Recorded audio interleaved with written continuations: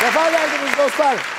Sefalar getirdiniz. Efendim 31 Aralık'ın saatlerindeyiz. Birkaç saat sonra yeni yıla merhaba diyeceğiz. 2021'i sevabıyla, günahıyla, hastalıklarıyla, güzellikleriyle inşallah geride bırakacağız.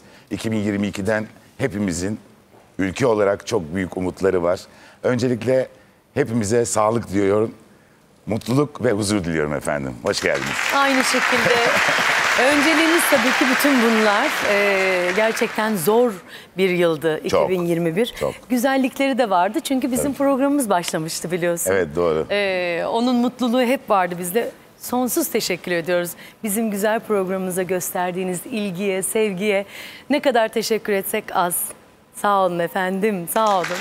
Sibel'cim senin dediğin gibi 2021'in e, bizim için en güzel tarafı e, şarkılar bizi söylere Bismillah dedik başladık. Doğru. E, bizim ikinci yılımız oluyor artık. Doğru. Aslında bir taraftan güzel e, ve çok güzel de anılar biriktirdik.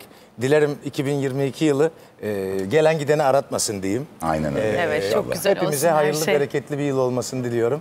E, bütün arkadaşlarım emeklerinize sağlık. Yeni yılda da hep birlikte olmak Hep dileğiyle. birlikte sağlıkla, müzik dolu günlerimiz, Müzik dolu. gecelerimiz olsun.